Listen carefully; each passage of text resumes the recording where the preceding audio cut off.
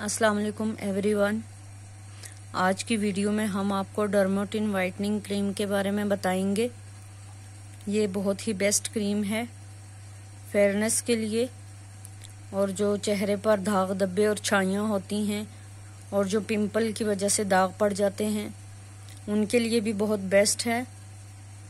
और छाइयों के लिए तो स्पेशली है ही छाइयों के लिए। तो आप इसको दो, जो है वो रात को किसी अच्छे मॉइस्चराइज़र से मुँह धो के आप इसको मुँह के ऊपर अप्लाई करें। रगड़ना नहीं है हल्का हल्का सा फिंगर की हेल्प से आपने इसको दाग की जगह पे लगाना है।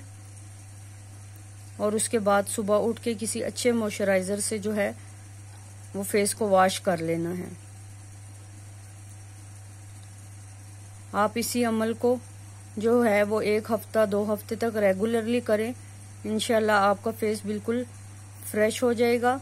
और ये कोई किसी किस्म की क्रीम नहीं है, ये एक मेडिकल ट्यूब है वाइटनिंग क्रीम मेडिकल की है। ये किसी किस्म का कोई भी साइड इफ़ेक्ट नहीं होगा इसका, आपकी जिल्द के ऊपर।